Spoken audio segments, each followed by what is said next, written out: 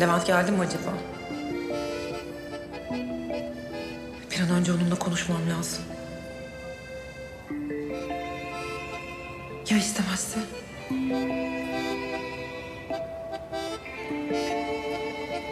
Nasıl istemezmiş benim çocuğumu? Anne oluyorum ben.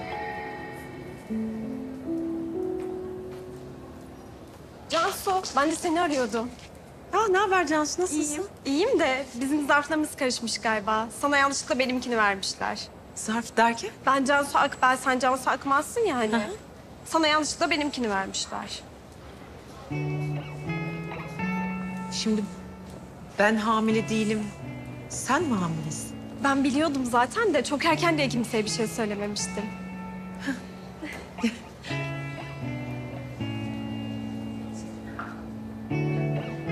Değişelim mi? Değişelim. Sen de kimseye şimdilik bir şey söyleme olur mu? Görüşürüz.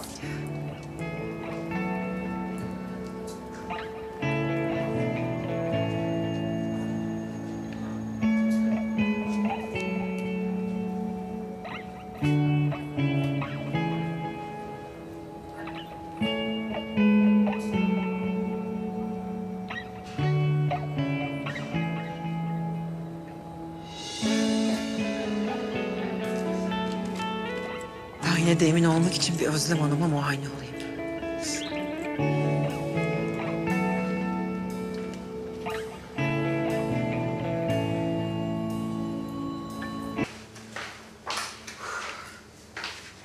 Cansucuğum, gebelik söz konusu değil.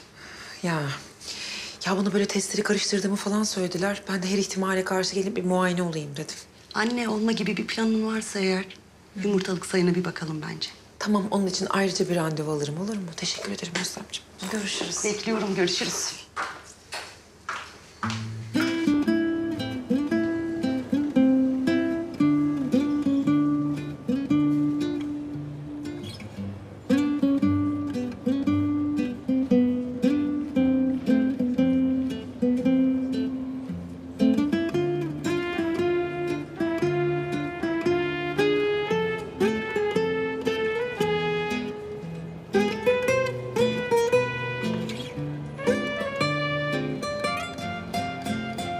Kızlara haber vereyim bari. Daha fazla video izlemek için kanalımıza abone olabilir. İlk izleyen olmak isterseniz bildirimleri açabilirsiniz.